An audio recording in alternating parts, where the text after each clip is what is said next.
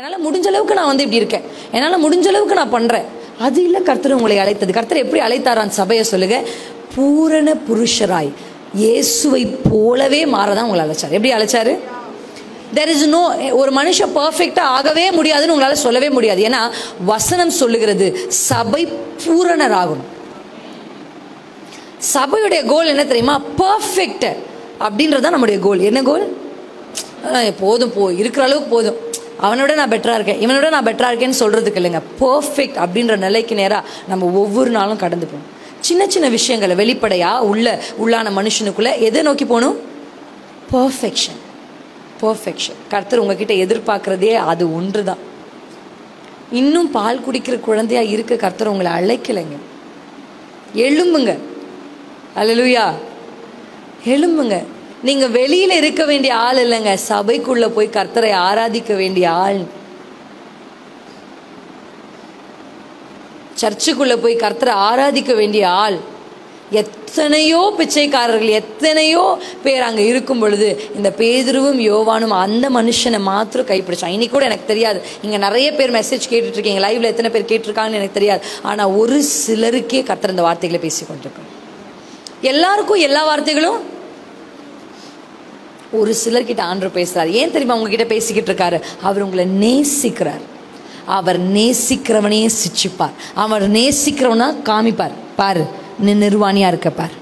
நீ நிர்பாக்கியம் உள்ளவனா இருக்க பார். நீ தரித்திரனா இருக்க பார். பாரு உன்னை பாரு. இதான் உன் நிலை. கொஞ்சம் பாரு. எத்தனை பேருக்கு ஆண்டு இப்போ பேசிக்கிட்டு இருக்காரு உங்க இருதயத்தில்? ஆமா. நீ துவங்கும் பொழுது எவ்வளவு வைராக்கியமா எவ்வளவு உற்சாகமா இதை செய்வ அதை செய்வ நீ துவங்கின. ஆனா இப்போ எங்க இருக்க? கர்த்தர் கேட்குறார் ஆதாமே நீ நிர்வாணின்னு உனக்கு சொன்னது யார்ப்பா? இல்லாண்டவரே நான் பாவம் பண்ணிட்டேன்.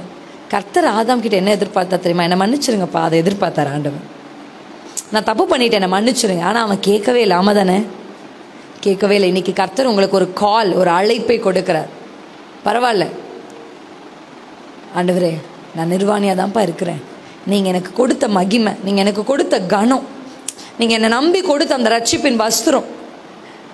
நான் நீதியையும் இந்த பூமியில் நியாயத்தையும் செய்வேன். நீங்கள் என் மேலே போர்த்தின அந்த நீதியின் வஸ்திரத்தெல்லாம் விட்டுட்டு இப்படிதான்ப்பா ஒளிஞ்சிக்கிட்டு இருக்கேன். எத்தனை பேர் ஒளிஞ்சிக்கிட்டு இருக்கீங்க?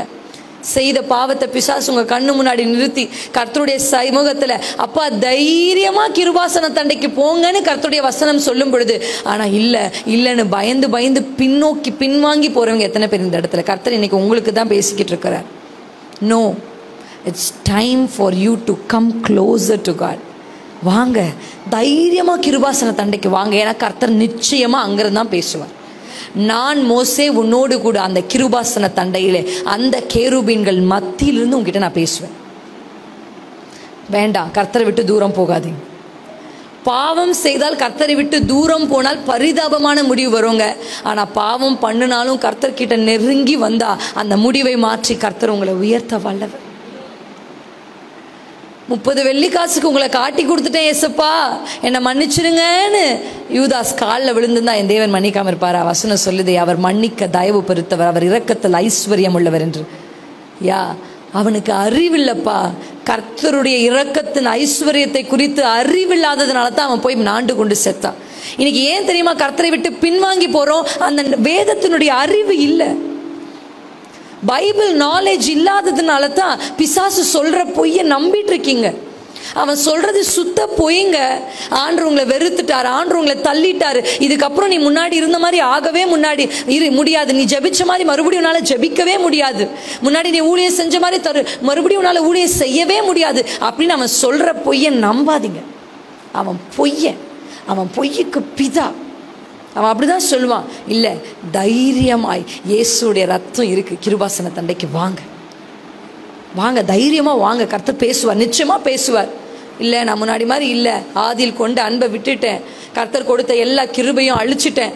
ஆண்டு எனக்கு கொடுத்தாரு. வாலிபத்தில் அப்பெல்லாம் நான் ஜெபிச்சிருக்கேன். ஆனால் கல்யாணம் ஆகி இப்படிலாம் ஆனதுக்கப்புறம் விட்டுட்டேன். முன்னாடியெல்லாம் கர்த்தருக்காக வைராக்கியமாக செய்யணும்னு நினச்சேன். ஆனால் எல்லாத்தையும் விட்டுட்டேன். இல்லை விட்டுட்டீங்க இழந்துட்டீங்க முடிஞ்சிச்சு.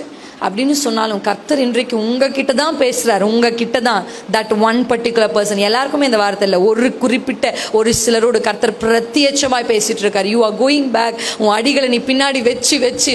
இல்லை ஆண்டவரே இல்லை ஆண்டவரே இல்லை. நான் முன்னாடி மாதிரி இல்லை முன்னாடி மாதிரி இல்லைன்னு பின்னாடி போகாத. கர்த்தர் சொல்றாரு உன் முன் நிலைமையை காட்டிலும் உன் பின் நிலைமையை நான் மேலே ஆக்குவேன் ஏன்னா ஆகாய் தீர்க்கதரிசி. நம்ம முதல் அதிகாரத்தில் வாசிச்ச அந்த வார்த்தையை வாசிக்கிறீங்க ஆகாய் தீர்க்கதரிசி வந்து சொல்றான் ஏன்பா காலம் இல்லை காலம் இல்லைன்னு சொல்றீங்கன்னு சொல்லி அப்படியே விட்டுறல.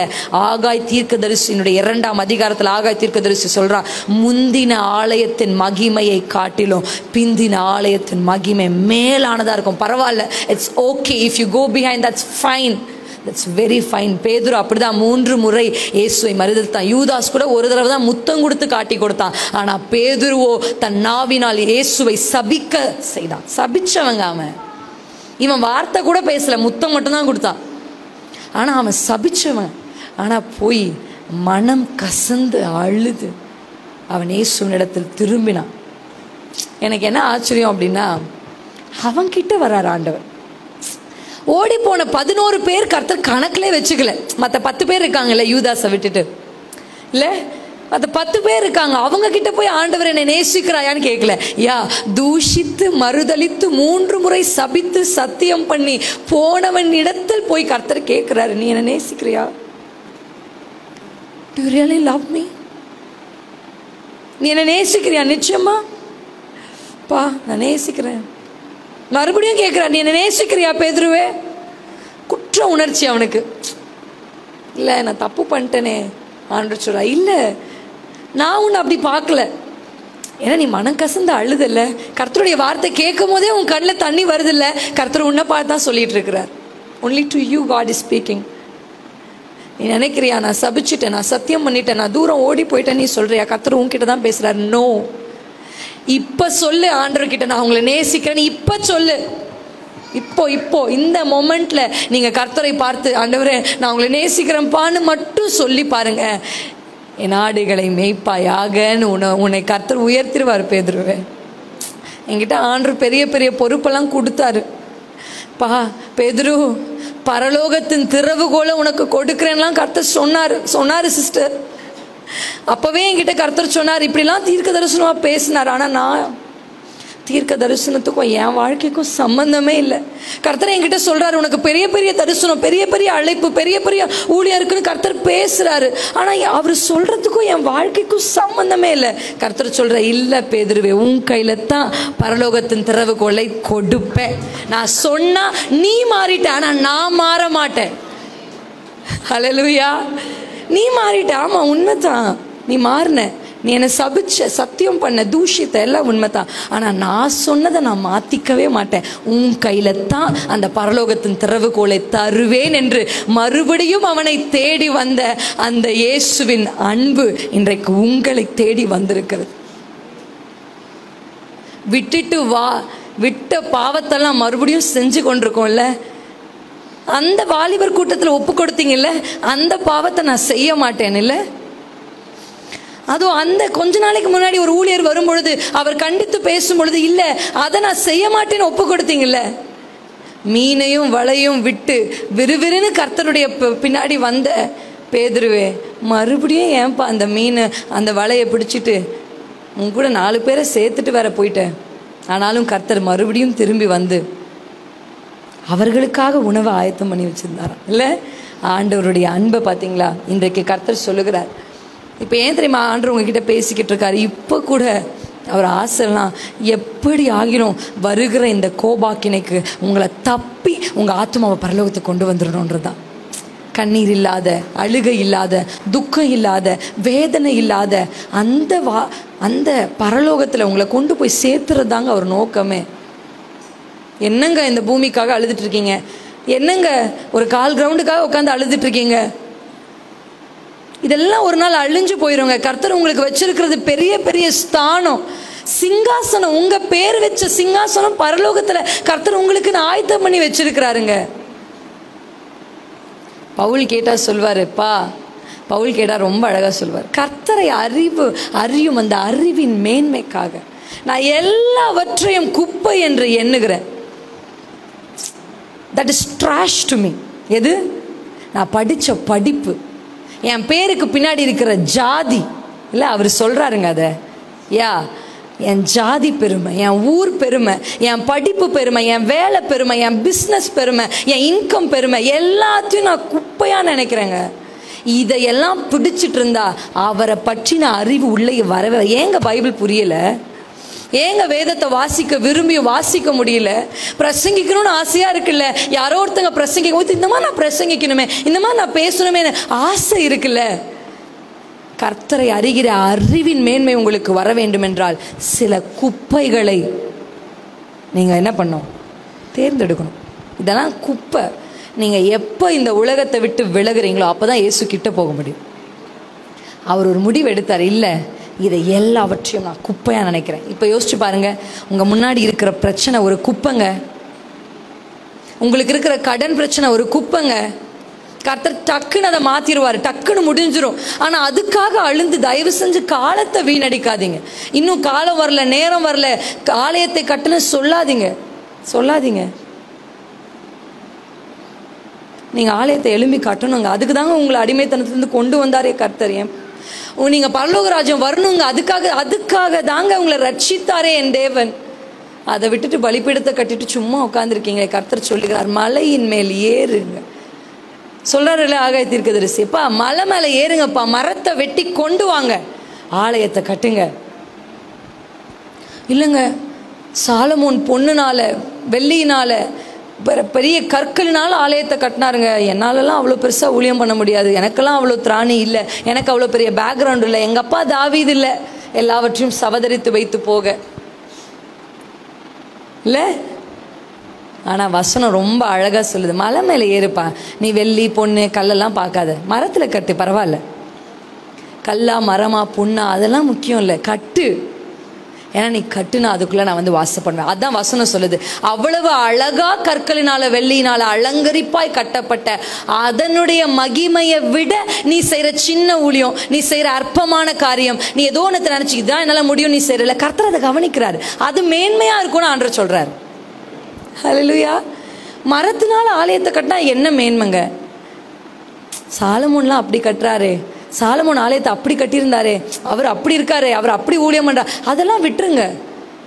இன்னைக்கு ஆண்டருக்கு ஒரு முடிவெடுங்க என்னால் முடிஞ்சது மலை மேலே ஏறி மரத்தை வெட்டி கொண்டு வரது தான் எத்தனை பேர் சொல்வீங்க?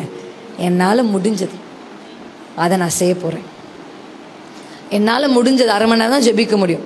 ஊற்று தண்ணீரே ஜீவன் தரும் நதியன்னு பாடும்போது கர்த்தருடைய பிரசனத்தில் அப்படியே பயங்கரமாக நிரம்பி நம்ம ஆராதித்தோம். உண்மையாகவே கர்த்தருடைய பிரசனம் அதிகமாக நிரப்பிச்சு. அபிஷேகம் என்பது ரெண்டு. ஒன்று மேலிருந்து இறங்கி வருகிறது ஒன்று உள்ளிருந்து வெளியே புறப்படுகிறது. நம்ம எப்பவுமே மேலிருந்து இறங்கி வருகிறதே எதிர்பார்க்குறோம். ஆமாம் தானே? உள்ளே வந்துருச்சுன்னா நிறைய நேரம் ஜெபிக்க முடியல. ஏன் தெரியுமா? நம்மளால ஜபிக்க முடியாது நீங்கள் உட்காருங்க. அஞ்சு பத்து முதல்ல பத்து நிமிஷம் உட்காருங்க. ஜபிக்க ஜெபிக்க ஜெப நேரங்கள் அதிகமாக நம்மளால முடியாது முடியாதுன்னு பிசாஸ் நம்மளை என்ன பண்ணிடுறான்? படுக்க வைக்கிறோம் அந்நிய பாஷை பேசணும். நிறைய நேரம் பேசணுங்க. அப்போ பத்து நிமிஷம் உங்களுக்கு என்ன பாஷை கருத்து கொடுத்துருக்கிறாரோ எவ்வளவு கொஞ்சமாக கொடுத்துருக்காரோ நீங்கள் அதை பேச பேச உங்களுக்கு என்ன பண்ணும்? பெருகும். என்னுடைய வாழ்க்கையின் அனுபவத்தை சொல்கிறேன் நான் ஒரு மணி நேரம் கூட புதுசாக பேசிக்கிட்டே இருப்பேன் அந்நிய பாஷை. ரிப்பீட் பண்ணாமல் ஏன்னா என்னுடைய வாலிப பருவத்தில் அந்த ஹாஸ்டலில் வெறும் சும்மா முழங்கால் படிக்கிட்டு அந்நிய பாஷை மட்டும் பேசியெல்லாம் எழுந்து போயிருக்கேன். அல்லேலூயா. ஒவ்வொரு முறையும் புதிய புதிய பாஷைகளை கற்றுக் கொடுக்குறேன் நீங்கள் என்ன நினச்சிட்டீங்க? அந்த அந்நிய பாஷையை குறித்து அது உங்களை தேவனோட ரகசியங்களை பேச வைக்குது. அதுதான் ரகசியங்களை பேச வைக்கும். அதுதான் உங்களுக்கு வல்லமையை கொடுக்கும். நீங்கள் அந்நிய பாஷையை பேச பேச ஒரு உன்னத பலன் உங்கள் மேல் வந்து இறங்கும். உங்கள் ஊற்றுகளை முதல்ல திறங்க. முடியாது பூ அப்படின்னு அடக்கி வைக்காதீங்க. எனக்கு பாட்டு வராதுன்னு ஆராதிக்காம இருக்காதீங்க. தேவ சமூகத்துக்கு போய் நல்ல வாய் திறந்து வருகிறத நீங்க என்ன பண்ணுங்க? பாடுங்க. பாட பாட பாட. அந்த ஊற்று எப்பவுமே என்ன? நீர் ஊற்றுனா என்ன? சுரக்கணும்னா எடுக்கணும். ஆமா தானேங்க எடுத்தாதான் அடுத்து வரும். எடுக்காம நீங்க வச்சிருக்கிறதுனால தான் தேங்கி போயிடுச்சு. எத்தனை பேர் சொல்வீங்க ஆமா. என் வாழ்க்கை ஒரே இடத்துல ஒரே மாதிரி ஜபத்தில் ஒரே மாதிரி ஒரு ரொட்டீனில் நான் தேங்கி போயிட்டேன். ஆமாம் தானே நீங்கள் தேங்குற ஆள் இல்லைங்க. நீங்கள் குட்டையோ குளமோ அல்ல. நீங்கள் ஜீவ தண்ணீர் ஊறுகிற நீர் ஊற்றுக்கள். நீங்க ஊற்றுக்கள் உங்களிலிருந்து புறப்படுகிறது நான்கு திசைகளிலும். அன்றைக்கு நான்கு திசைகளிலும் ஏதேனிலிருந்து ஆறுகள் புறப்பட்டதுல பைசோன். இல்லை அப்படியெல்லாம் நான்கு ஆறுகள் புறப்பட்டு தேசம் முழுவதும் இந்த ஆறுகள் போனது. அல்லேலூயா இன்னைக்கு உங்களுக்குள்ள இருக்கிற அபிஷேகம் புறப்பட்டு நான்கு திசையிலும் போனோங்க கோயம்புத்தூர் முழுவதையும் இந்த ஆறு நிரப்ப வேண்டும். போகிற இடம்லாம் ஆரோக்கியம். அப்படியே அந்த ஆறு அந்த ஆறு போறது அந்த அபிஷேகம் பரவுறத பார்த்தவங்க தேடி தேடி எங்கிருந்து வருது எங்கிருந்து வருது எங்கிருந்து வருதுன்னு எல்லாம் மோசமானவங்களா இருக்கிறாங்க. ஆனா வசனம் சொல்லுகிறது சர்தையே உன்கிட்டையும் தன்னுடைய வஸ்திரத்தை கரைப்படுத்தாத ஒரு சில பேர் இருக்கிறாங்க. கருத்து சொல்கிறார் தியேத்திராவை பார்த்து சொல்லும்போது சொல்கிறார் எல்லாரும் சாத்தானுடைய ஆழங்களை அறிந்து கொள்கிறாங்க இன்னைக்கு எத்தனை நிறைய இன்னைக்கு நிறைய பேர் வசனத்தை தெரிஞ்சுக்கிறத விட சாத்தானை பற்றி தெரிஞ்சுக்கிறது அதிக பேருக்கு என்ன பண்ண விருப்பம். சாத்தான் எப்படி இருப்பான்? கண்ணு உருண்டையா இருக்குமா? கொம்பு இருக்குமா? வெள்ளையா இருப்பானா? கருப்பானா? என்ன ட்ரெஸ் இது மாதிரி சாத்தானை பத்தியே பயங்கரமா தெரிஞ்சுக்கிறாங்க. ஆனா அங்க வசனம் சொல்லுகிறது அவர்கள் சொல்லுகிறார்களே சாத்தானுடைய ஆழங்கள் என்று சொல்லி. அந்த ஆழங்களை அறியாதவர்கள் உன்னிடத்துல உண்டு. ஆன்ற அந்த சபையை பார்க்குறாரு. எல்லாரும் இல்லைங்க. அதில் ஒரு சில பேர் இருக்கிறாங்க. சரதையிலும் தேவனுக்கென்ற ஆட்கள் உண்டு. தியத்திராவிலும் கர்த்தருக்கு என்ற ஆட்கள் உண்டு. பெருமலையிலும் இயேசுவுக்கு ஆட்கள் உண்டு. அலலுயா தன் வஸ்திரத்தை கரைப்படுத்தாத எந்த விதத்திலும் தன்னை தீட்டுப்படுத்தாம நான் எப்படியாகிலும் கர்த்தருக்கு பிடிச்ச மாதிரி வாழணும்னு தன் வாழ்க்கையை ஒழுங்குபடுத்துகிற தானியல்கள் உண்டு இந்த சபையிலும். ஆமேன். இப்படிதான் வாழணும் அப்படின்னு தன்னுடைய வாழ்க்கையை நிர்ணயித்து வாழுகிற. யாரும் தானியல் கிட்ட போய் இதை சாப்பிடாதுன்னு அங்கே போதிக்கலை. யாரும் யோசேப்பு கிட்ட போயிட்டு இந்த மாதிரி தப்பா பண்ணாதுன்னு அவர் கூட இருந்து அவரை என்கரேஜ் பண்ணல. இந்த இந்த நாட்கள் நம்ம என்ன நினைக்கிறோம் தெரியுமா?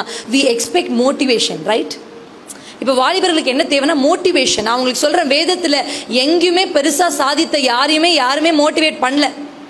டோன்ட் எக்ஸ்பெக்ட் மோட்டிவேஷன் ஏன்னா கிடைக்காது உங்களுக்கு. என்னை யாராவது மோட்டிவேட் பண்ணணும் யாராவது என்னை உற்சாகப்படுத்தணும் அப்படின்னு நீங்கள் எதிர்பார்க்காது ஏன்னா கிடைக்காது. ஏன் இவங்க இவங்க உற்சாகப்படுத்த மாட்டாங்க. அதை விட என்ன சொல்லுவாங்க? ஏய் எங்க? எங்க ஆடு எங்க? கொஞ்சம் ஆடு எங்க? போய் ஆடு மேய்க்கிற வேலையை பாரு. இவங்க மோட்டிவேட் பண்ண மாட்டாங்க உங்களை. இவங்க உங்களை தள்ளி தான் விடுவாங்க. நீங்கள் செஞ்ச தப்பை தான் உங்களுக்கு சொல்லி காமிப்பாங்க. உங்கள் பழைய வாழ்க்கையை தான் உங்கள் கண்ணு முன்னாடி கொண்டு வந்து நிறுத்துவாங்க. அதுதான் மனுஷ சுபாவம். இல்லை?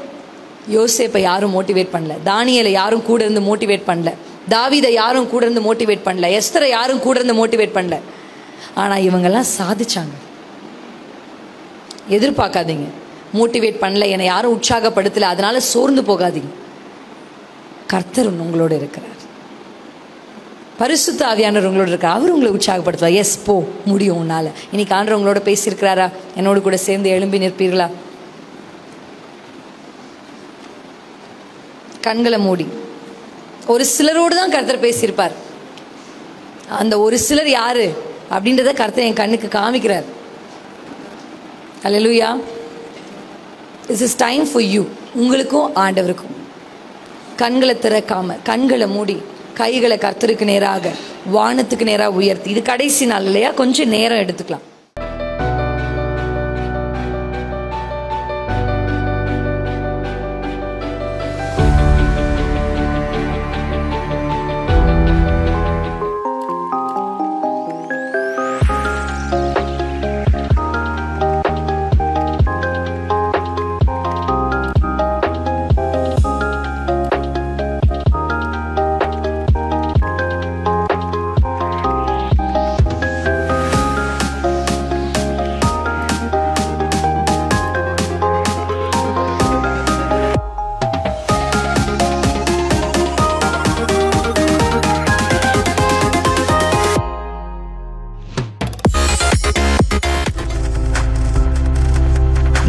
பார்த்து கொண்டிருப்பது உங்கள் ஜாய் டிவி. உங்கள் துக்கம் சந்தோஷமாய் மாறும்.